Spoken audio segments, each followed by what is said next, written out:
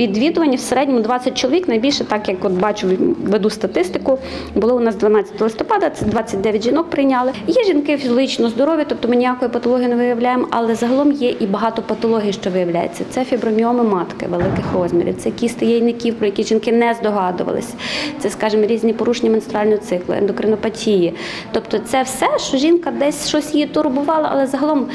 Можливо, брак часу, можливо, страх його також не можна виключати. Це все не дозволяло їм прийти. Завдяки цій акції, звичайно ж, це безкоштовно, без черги. Вона спокійно приходить, отримує талон, отримує оглядовий набір. Це все проходить дуже комфортно. Сьогодні з 9 години до цього часу, скажімо, до 11 у нас було п'ятеро жінок по флаєру.